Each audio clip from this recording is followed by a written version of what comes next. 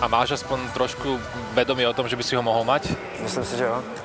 To je dobré, to je velmi důležité dokonce. Tak nech se páči, choď a ukáž, že máš X-Faktor. Držím ti palce. Vystupoval jsem jednou minulý rok. eh, Jsem byl hrozně spisovný. Trnová.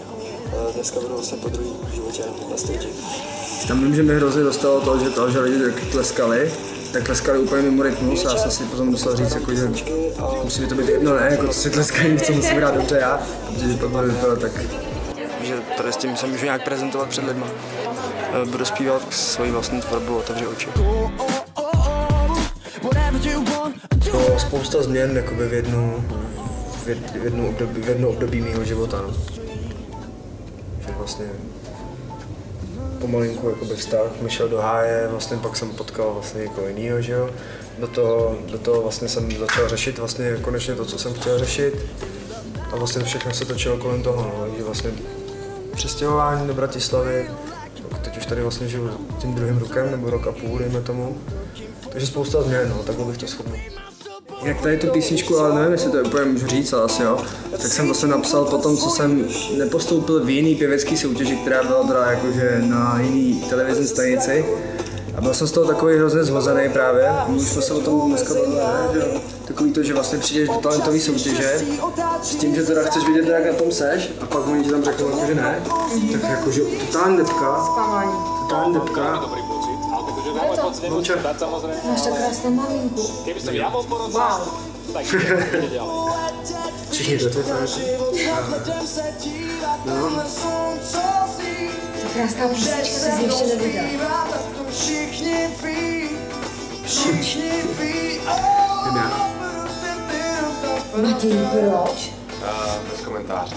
Bez komentáře. Doskal si lidi, eh, rozbouchal porotu. Nevím, nevím, těžko říct. Výborně hraješ. Tady jsi se zamilovali do sebe. Do Ne, sebe. ne, Vypadalo jako eh, z toho ranku či Kam jsme se to dostali až, co? Od X Factoru, úplně někam. Cítíš se v tom doma? Mám taký pocit, že si hráš, tak máš chill, plný pohody, si cítil tak pohodlne. Máš rád funky, to si můj člověk. No, no. Si je dobře zladěný. Takže zajímavá to byla určitě zkušenost mě. Nejsilnější moment pro mě byl, když jsem zpíval toho Jacksona, to, to finále, ten Earth Song. A to byl ten konec úplně, protože z toho jsem měl hrozný strach a měl jsem totálně vykřičený hlas. Takže buď to mohlo dopadnout jako totální průser, anebo jako, že to bude v pohodě. A nakonec si myslím, že to dopadlo celkem v pohodě ten konec, no. takže to bylo takové jako, že dost pro mě jako... A pak samozřejmě, když jsme eh, se rozdělovali na ty skupiny a víš, jakoby, jestli se dostaneš dál, tak to bude takový nejemotivnější. Asi ten první den, ten bootcamp, ten byl hodně. To jsme byli do tří hodin do rána, jsme byli z hůru už všichni unavený a víš, nátlak hodně velký, no. Tak oni asi zkoušeli psychiku taky.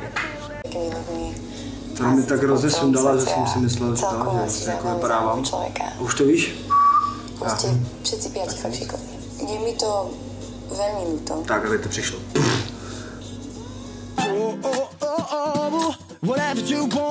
Ale my jsme byli kamarádi jakože dlouhou dobu na tom X Factoru a vím, že potom vlastně tím, že máme stejného manažera, tak my jsme se potom i viděli jakože i potom, že jo, po té soutěži, která skončila.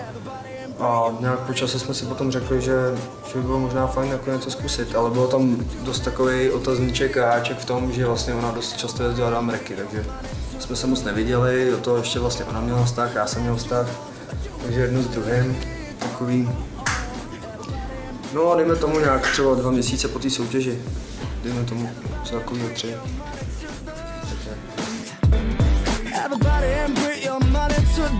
No jakože tušení možná jsem měl, ale jakože držel jsem si ji od těla, protože jsem měl přítelkyni a prostě jsem říkal, jakože, že to je blbost. Jako celkově jsem si říkal, to je nesmysl, ne? protože by prostě jakoby kluka z nějaký horní dolní, jakoby, bych ji zajímal, že.